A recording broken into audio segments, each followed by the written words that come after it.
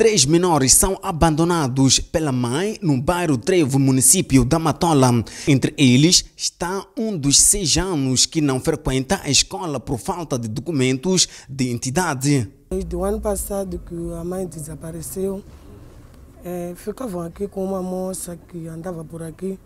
Então aquela moça também se cansou porque não trabalhava, não tinha como sustentar as crianças. Então ela depois desapareceu. Ela, coitada, ficou a cuidar, a cuidar, a cuidar, cuidava, cuida até agora. Então, chegou um certo momento que ela também foi em casa dos pais.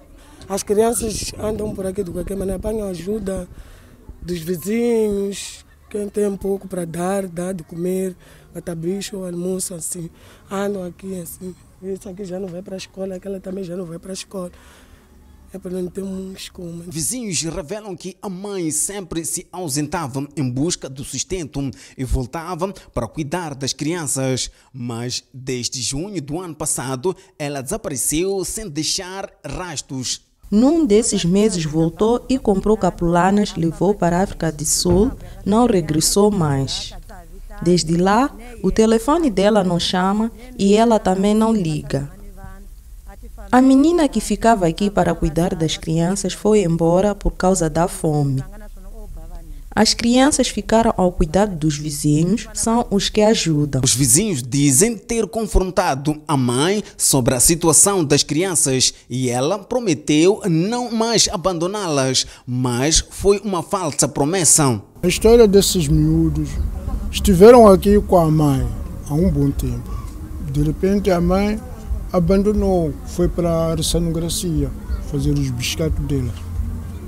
E voltava, ia e voltava, ia e voltava, ia. Está certo.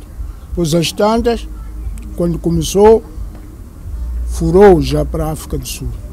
Quando furou para a África do Sul, para voltar já está a ser difícil. Nós tínhamos que fazer uma chamada em telefônica. Voltou quando voltou é quando fez aquela casa de banho ali, porque estava em falta daquela casa de banho.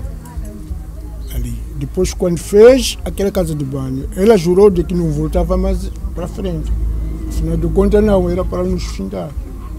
Ultimamente já saiu e foi-se embora de vez. A TV Surdo, depois de acompanhar a história dos menores, promoveu uma campanha de angariação de ajuda nas redes sociais tendo singulares e organizações que se identificam com causas de caridade se juntando à causa.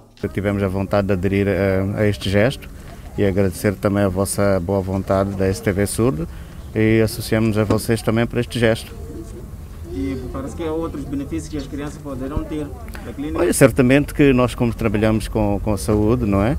É a Clínica Vida Plena, também estamos abertos, portanto, para as crianças portanto, dar uma assistência, fazer as consultas por um período de um ano. Uhum. Portanto, basta portanto, dirigirem-se a nós, nós estamos abertos portanto, a, a esse todo o trabalho, não é? Ficamos sensibilizados para aquilo que aconteceu na rede social e tendo em conta que o tempo não é propício para poder fazer esse tipo de visitas, mas não podíamos deixar passar em branco, principalmente tendo sendo o dia de hoje, que é dia da criança, e virmos apanhar essas crianças que todos os vizinhos já testemunharam o que estão a viver, é um bocadinho complicado.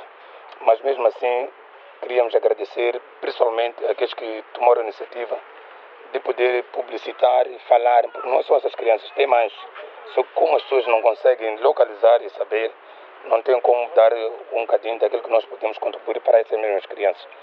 Os vizinhos que têm acompanhado as crianças desde que foram abandonadas pela mãe agradecem o apoio e comprometem-se a continuar a ajudar os menores. Em nome do chefe do quarteirão 13, o muito que ele tem por dizer é dizer muito obrigado do gesto que o, o grupo conseguiu fazer. É só isso. Muito obrigado. Os motoqueiros da cidade de Maputo que se juntaram à causa revelam ter um projeto de ajuda às crianças desfavorecidas. Doações não terminam por aqui. É, temos outro projeto aqui, de fazer a casa de banho, conforme estão a ver de qualquer maneira e talvez tentarmos fazer, criarmos uma base de um negócio, porque não é só ajudar a sairmos daqui, é preciso que talvez haja alguém ou uma baraquita aqui que é para o sustento do dia a dia.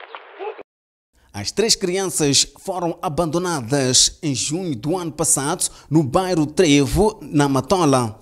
Um presente especial para estas crianças foi ter recebido parte dos doadores em pleno Dia Internacional da Criança, 1 de junho.